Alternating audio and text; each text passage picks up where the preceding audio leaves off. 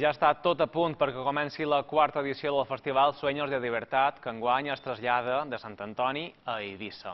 Serà els propers dies de 7, de 8 i de 9 de maig i les entrades ja estan a la venda. Per escalfar motors s'ha organitzat una mostra de diferents portades a la revista Rolling Stone fetes pel fotògraf americà Baron Woolman a la plaça del Parc. Entre d'altres, el festival mostrarà les actuacions d'Original Wailers, Orixas, Loquilla, Buica i Fantàstic Negrito a tres escenaris diferents, Baluar de Santa Llúcia, Port d'Eivissa i Passeig de Vara de Rei.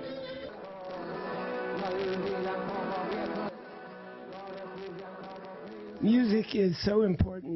música és molt important per a aquesta comunitat i el que en Adrián està fent encara és més important perquè és l'origen de la música. Aquest tipus de música ha fet Eivissa famosa, més que l'electrònica. Li ho agraeixo i ens hem molt identificat pel que està fent. So I really applaud him